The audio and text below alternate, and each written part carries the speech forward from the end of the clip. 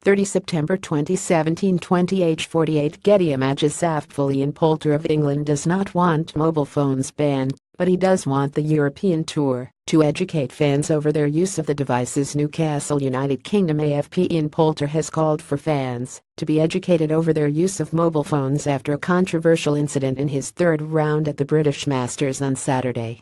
Poulter has put himself into contention for a first victory in nearly five years after a round of 68 for a share of second place at 11 under par, only one shot from the lead in Newcastle.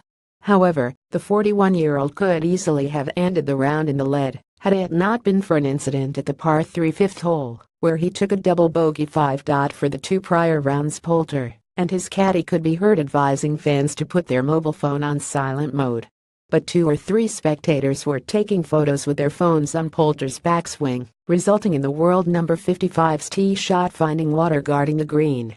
What are we doing Poulter said. We've allowed them all to take pictures and videos and tell them to put them on silent, and it doesn't work does it?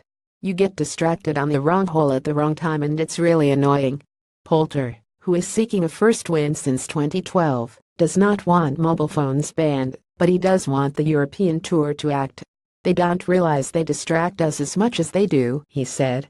99% of them are on silent, and unfortunately fears a couple which are not. Yeah we're not expecting it, because you think they've got it on silent. I'm angry and I'm going to continue to be angry until I wake up tomorrow morning. Throwing shots away for no reason is really annoying. 2017 AFP